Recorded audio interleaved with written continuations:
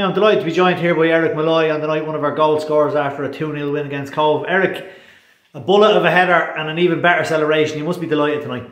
Absolutely, yeah. I have to say the lads really dug in there. I don't think we had much of the ball there in the second half, and we just played about three days ago as well, so the legs were pretty heavy.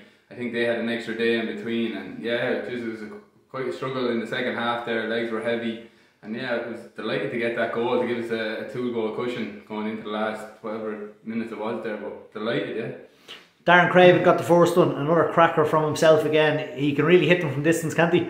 Just what a strike, yeah. He's hit a few of them, and in training you see that Dad's hit some worldies in training, and it's great to see him hitting them out there. Um, but that comes from good pressing from everyone. Like a lot of the players, first half we stepped up, we we had the legs, pressed them. I think we won the ball back, then I felt it Daz, and yeah, what a hit from Daz.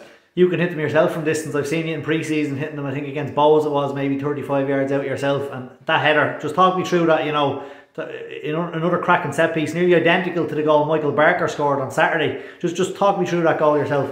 Well, uh, first, yeah, the lads have been giving me a lot of stick about hitting the ball, like trying to find lads probably too precise, and in them conditions, they're, they're just saying hit the ball. I need to start hitting it more.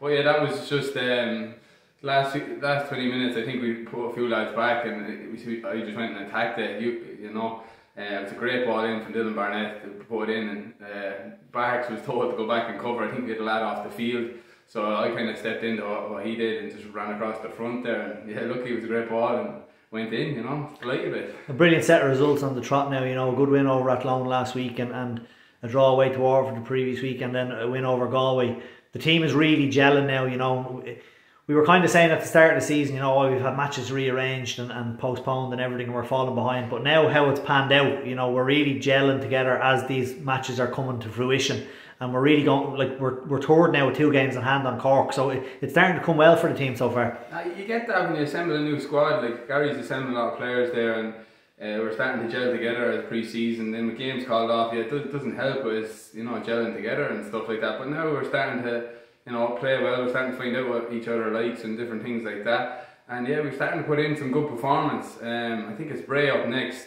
We had a very good performance against Bray the last day, but we ended up losing that match. So yeah, we're going to be have fire in our bellies going into Bray next week. You know. Speaking of that game, as you said, you know we lost here at Bishopsgate against Bray, and again we probably didn't deserve to lose. Revenge is, will, will be the first thing on the menu for the team, I'd imagine. Um, obviously, going to the Carlisle is difficult for any team, but we've we, you know we've come up against every team now apart from Treaty. We know what everyone's at. We know what Bray are at especially, and we've come round to play them again. As you said, the fire in the belly will be there for going up to Carlisle.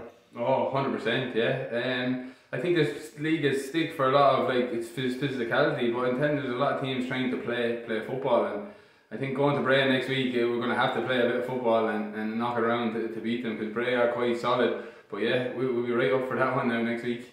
Cheers, Eric. Thank you.